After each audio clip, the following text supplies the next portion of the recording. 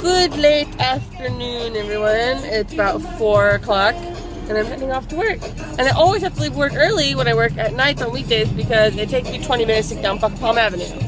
Anyways, I'm just going to go to work and then I open tomorrow and then Thursday gets here and then that means a week until I leave. Oh my god, I forgot that I had a vlog and I was gonna go to bed without finishing it. Okay, but I'm gonna go to bed and I'm gonna talk to you later. Okay, bye.